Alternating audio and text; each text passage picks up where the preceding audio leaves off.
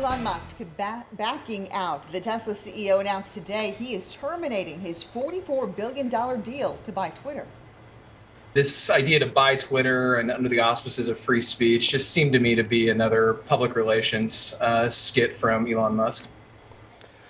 Tech expert weighing, experts weighing in tonight as Musk says he is pulling out because Twitter failed to provide enough information on the number of spam, spam accounts on its platform. Good evening to you. I'm Andre Senior with Christina Rendon here. It's the latest in the saga since Musk announced he would buy the company back in April. KTVU's Alyssa Harrington joins us now with more. Alyssa. Well, people I talked to said that they weren't surprised by this move by Musk. They say the economy is in a totally different place than it was when he first agreed to buy Twitter, but the company is not walking away from this deal easily. The company announced it does plan to sue.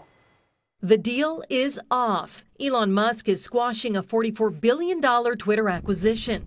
Documents filed with the Securities and Exchange Commission detailed the termination of the deal. Musk's lawyer accuses Twitter of being in breach of the merger agreement by failing to provide critical information and by making false and misleading representations about the number of spam bots on the social media platform.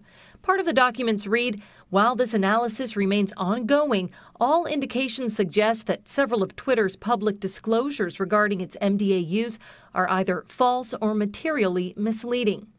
Twitter has said less than 5% of its users are spam accounts. I actually wasn't surprised. I, I, can't give a reason why, but from day one, this always seemed like a publicity stunt to me. Nolan Higdon, a professor at Cal State East Bay, said it's important to remember the economic context of when Musk first agreed to buy the company three months ago. When Elon made this bid, um, you know, his stocks, particularly those of Tesla, were at like an all time high, and they've only been declining, not not necessarily because of his doing, but because of the market since then. And so one has to wonder if Elon realized that the price he was paying was way higher than the market value and he tried to find any excuse to get out of the deal. Musk had said he wanted to buy Twitter because the company was failing to live up to its potential as a platform for free speech.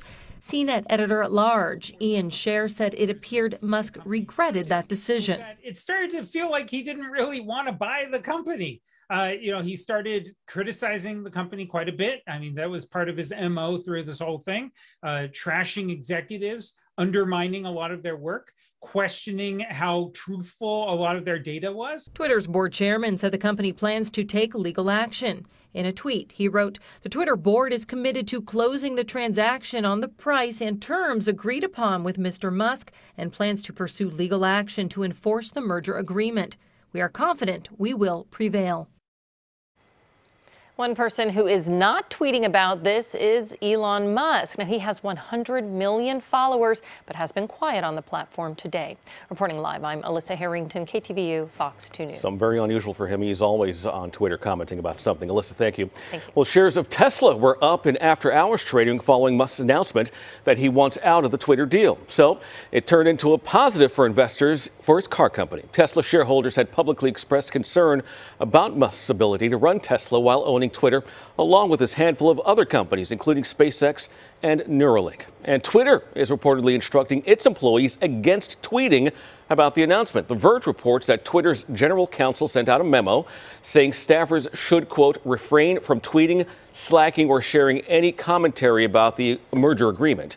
The note says the deal is an ongoing legal matter.